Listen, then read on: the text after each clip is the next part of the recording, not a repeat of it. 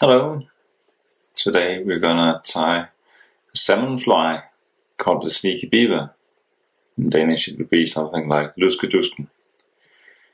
The idea of this fly is that it's pretty camouflaged in uh, the river it's designed for. It's called Skjern River. And um, the idea about it is that it's pretty camouflaged in the water. So the salmon don't see it until it's passing over its head. So that's the idea of it. And I try to match uh, the size and the colors so that it would be visible about 30 centimeters down in the, water. I tie the front end in orange black and yellow black and brown black or just brown something something like that. And this is a size 8 double hook I'm using today, and I have uh, tied in size 6 double hook, 8 double hook, 10 double hook. Um, that's basically it. Alright, let's get on with it.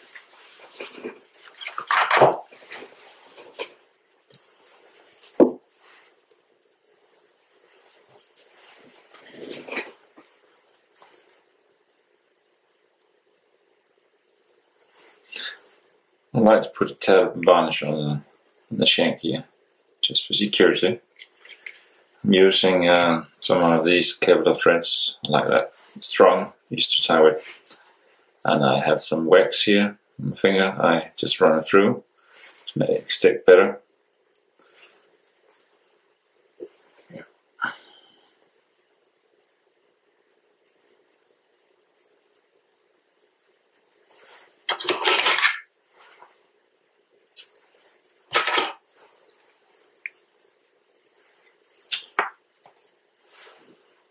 Comes in some wire.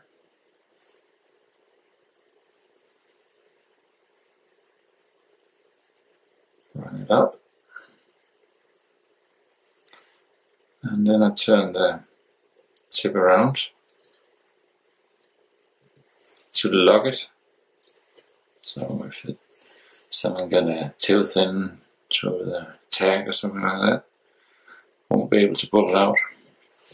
I like my flies to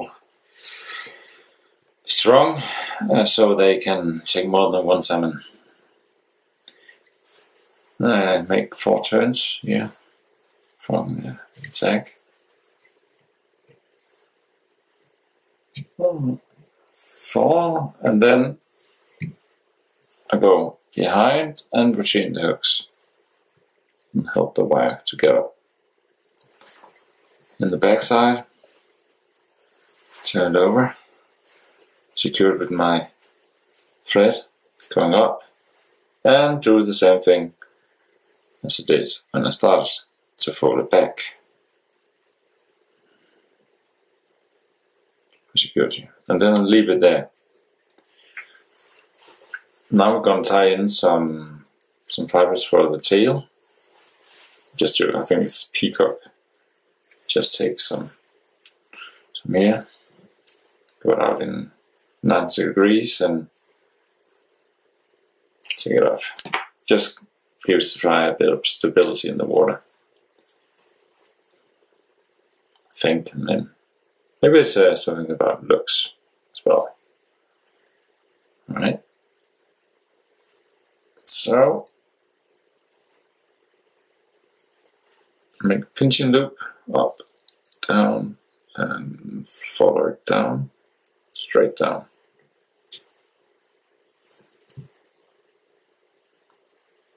Then too much to the back.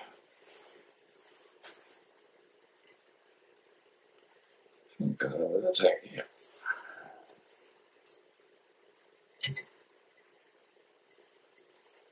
There we go. Cut off the excess.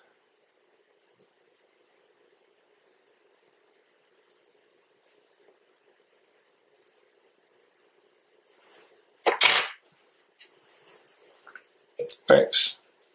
Tidy up.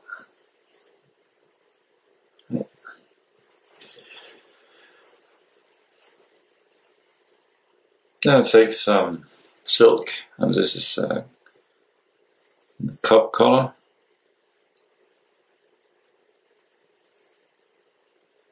Going forward.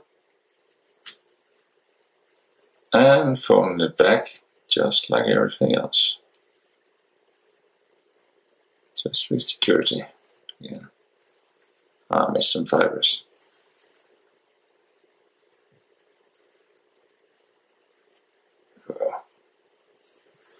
Some wax on.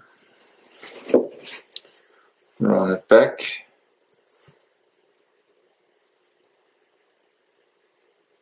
And then run it up towards the head. Prepare the thread with some wax. I run the um, silk one way and the wire the opposite way. It makes a stronger fly. I think it's also looking better that it's crossing over if there's any one who cares about the, the looks of the fly. Yeah, cross it over. Open up. And one more and then fold it back. Cut off the excess.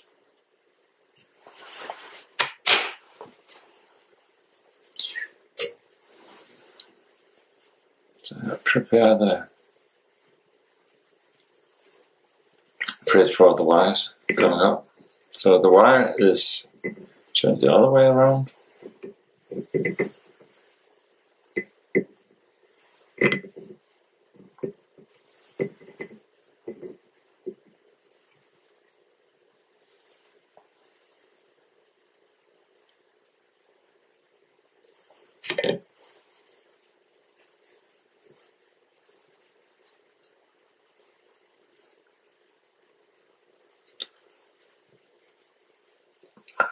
Like that on the side instead of it's underneath, I think.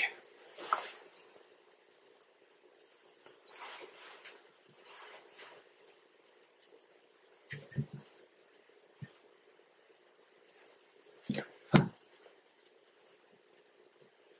And then break it off.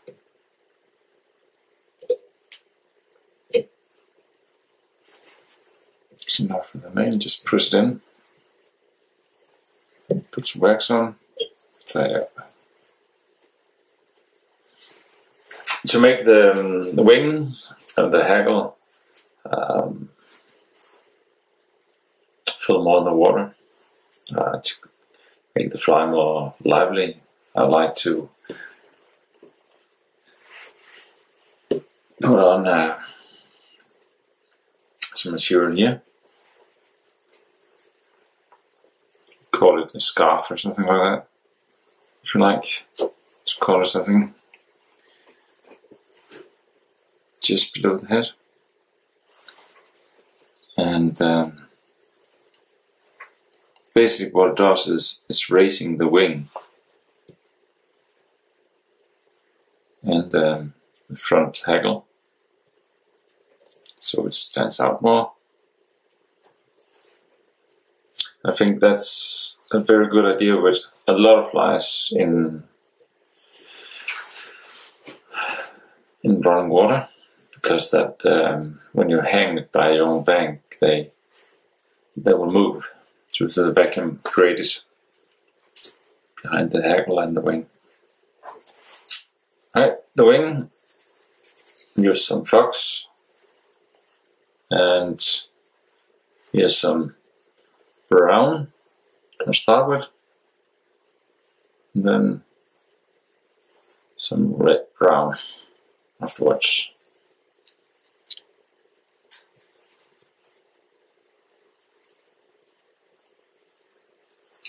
So that. Cut off the excess. Uh.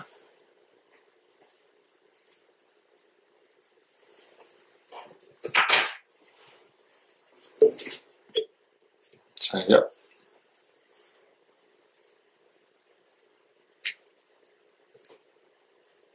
Run it back. I see the wings standing up more or less vertical. It's going to change a bit, and especially in the water. Mm, not too much focus for the the red part of the wing. It's red, brownish. Probably have a special name for that color. I don't know it.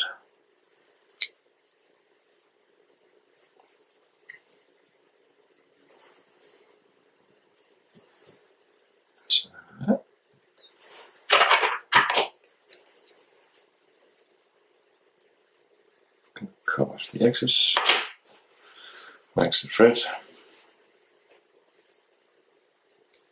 tidy up.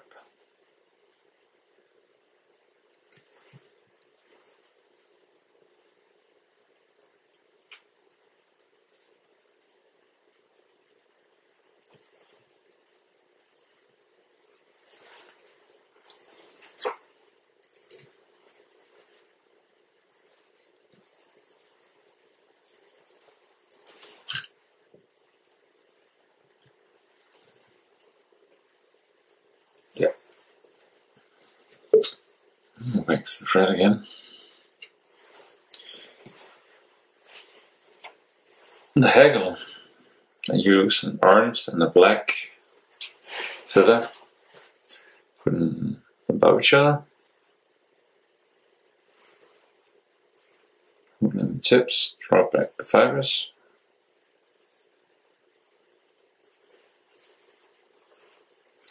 I like to do it that way because then I think the two colors blend more into each other, making them more pretty. A better camouflage, so to speak. Take in by a tip, run a bit forward, take the lower tip, turn it back just for security.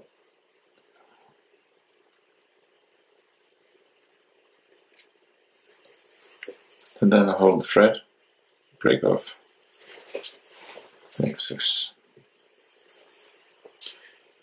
That's the thread, and a little bit forward. I can see here some tips material. Tweezers is small tweezers, nice for precision work, I think. All right, then I'll lay down the fibers with the scissors, and I run the along the shank of the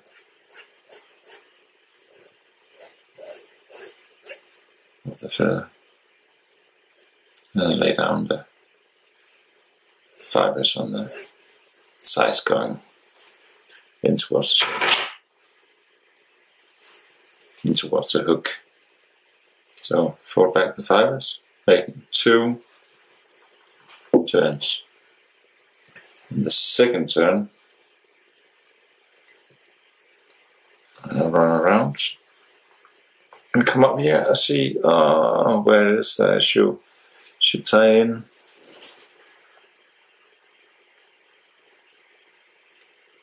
And pull back away the fibers. Do the same here.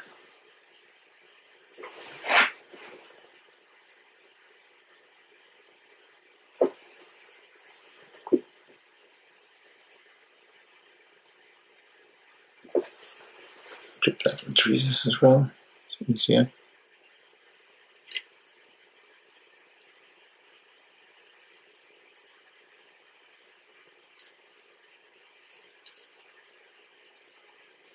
So you have the stem of the of the feather.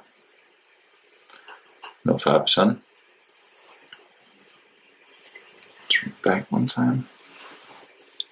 And forward just to make sure that's all the way back. Just putting the turns just in front of the other. And here, come up here, and turn further forward in 90 degree bends. Come and go with the thread.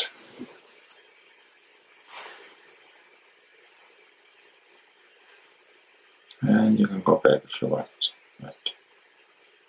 Then, on the thread tight, pull off the feathers. I fold back all the fibers to tidy up.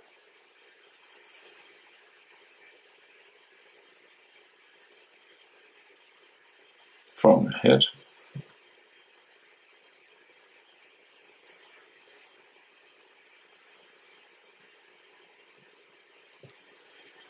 Some more wax. Up again.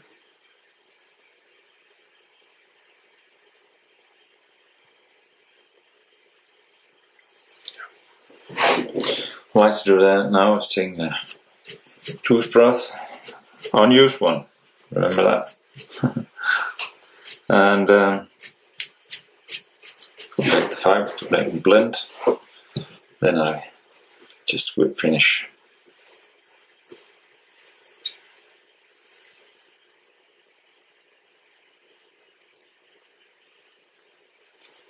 Yeah, and that's some fibers here. There you go. Let's just put some then more wax on and a second turn of which is ah, the second whip finishing knot. There you go. Tidy up.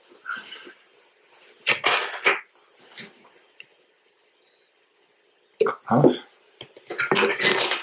and then remove the wax, the excess wax, the spare wax.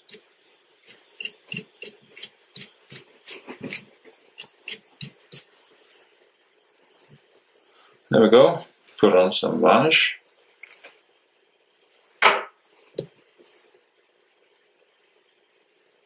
Could change the color of the hair, but yeah too.